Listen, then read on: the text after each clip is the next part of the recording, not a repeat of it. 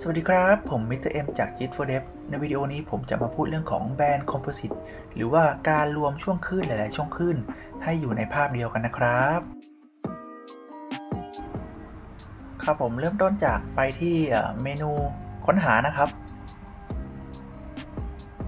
จากนั้นนะครับพิมพ์คำว่า composite วักแบนด์นะครับ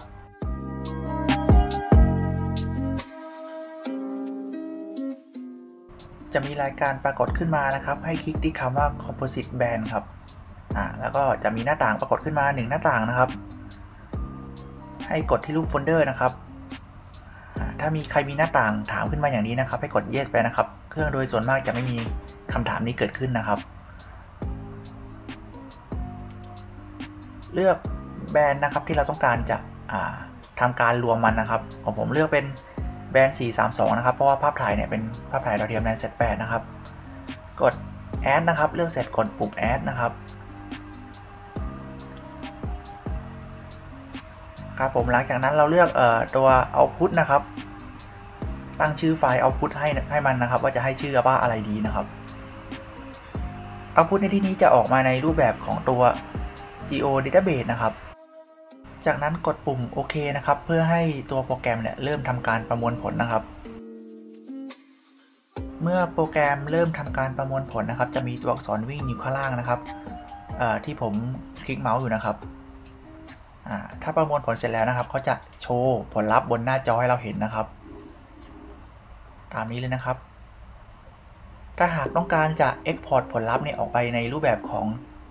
คลิกไฟล์นะครับให้คลิกขวานะครับ แล้วก็เลือก Data ครับ จากนั้นนะครับให้เลือกคำว่า Export Data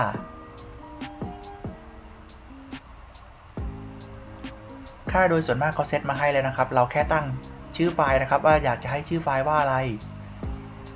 อะผมทำการแก้ไขชื่อไฟล์นิดนึงครับพอผมกด save นะครับ น่าจะมีข้อความเตือนอะไรบางอย่างขึ้นมานะครับ อ่าเขาบอกว่า ข้อมูลที่ผมจะ Export ออกเนี่ย มันไม่มีตัว no data value pixel อยู่เลยนะ มันเตือนเราเฉยๆนะครับ จริงๆ เราจะ Export เลยก็ได้ หรือว่าเราจะกลับมาแก้ไขก็ได้นะครับ คราวนี้เนี่ยผมจะกลับมาแก้ไขที่ตัว no data นะครับ จากค่าเดิมนะครับ 65536 นะครับ ผมเปลี่ยนเป็น 0 นะครับ เพราะว่าผมรู้มาว่าภาพหรือข้อมูลของผมเนี่ย no data value ก็คือ 0 นะครับ จากนั้นกดเซฟครับ จะไม่มีข้อความเตือนละ รอโปรแกรมประมวลผลสักครู่นะครับ เมื่อประมวลผลเสร็จแล้วเนี่ยเขาจะมีหน้าต่างเด้งขึ้นมาอย่างนี้นะครับ ถามว่าเราต้องการจะเเปิดไฟล์เนี่ยดูหรือเปล่านะครับผมก็กด yes นะครับเมื่อกี้คือการแสดงผลนะครับบนหน้าจอเลยครับ